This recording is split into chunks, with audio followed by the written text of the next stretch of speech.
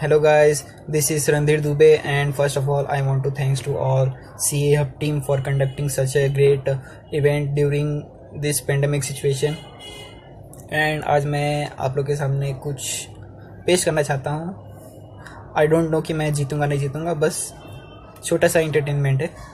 अच्छा लगेगा तो देखते जाइए इन्जॉय करिए। सबसे पहले मैं आपके सामने एक पप्पी की आवाज़ निकालूँगा, छोटा डॉग जब वो पैदा होता है, तब उसकी आवाज़ कैसी होती है? और हाँ प्लीज़ आप ये वीडियो ईयरफोन लगा के सुनिएगा, तब आपको ज़्यादा फील होगा। छोटे पपी की आवाज़।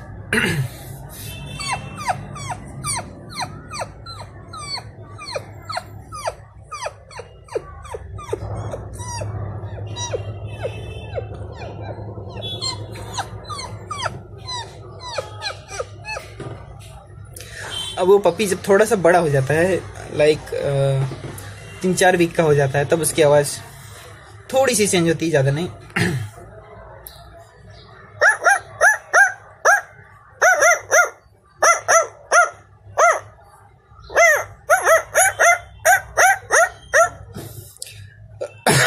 सॉरी अब वो पप्पी जब थोड़ा सा और बड़ा होएगा लाइक लिटिल बिट डॉग हो जाएगा, तब उसकी आवाज़ कैसी हो जाएगी?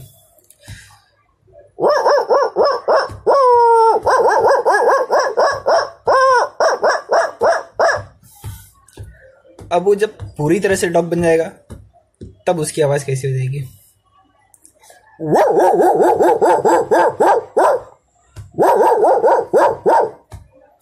और हाँ जब डॉग, पालतू कुत्ता अपने मालिक से बोलता है कि भाई, उसको पोटी लगी है। जब उसको पोटी लगती है, तब वो अपने मालिक से कैसे रिक्वेस्ट करता है कि भाई, मुझे बाहर लेके चलो, मुझे बहुत ज़ोर से पोटी आई है। देखो ऐसा।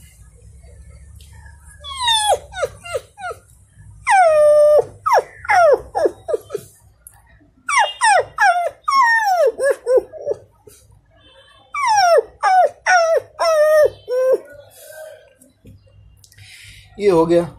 और जब कोई कुत्ता रोड पे सोया रहता है और अचानक में उसके पैर पे से कोई चला जाता है, गाड़ी चली जाती है, तब वो उस किस तरह से चिल्लाता है?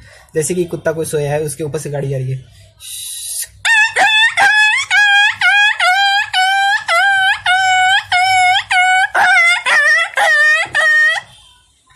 सॉरी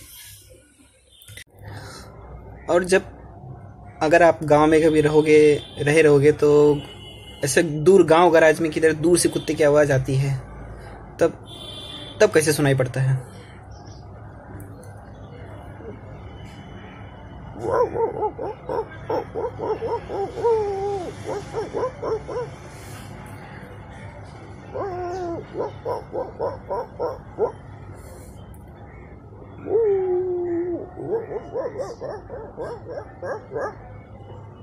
ना दूसरा आवाज़ है कौवे का। कौवा कैसे बोलते है?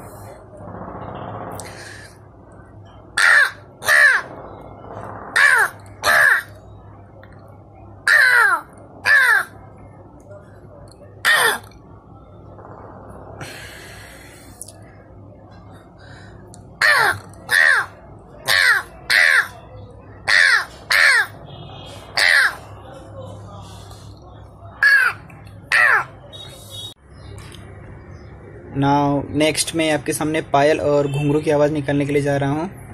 पायल की आवाज़ थोड़ी पतली होती है और घुंघरू की आवाज़ थोड़ी उससे जाड़ी होती है। तो आप पायल की आवाज़ सुनिएगा फील करिएगा आँख बंद करके और ये घुंघरू की आवाज़। फॉर एग्ज़ाम्पल एक कोई लेडीज़ है और लेडीज़ चल रही है तो उस, उसके पैरों में पायल है तो पायलों की आवाज़ कैसे आएगी?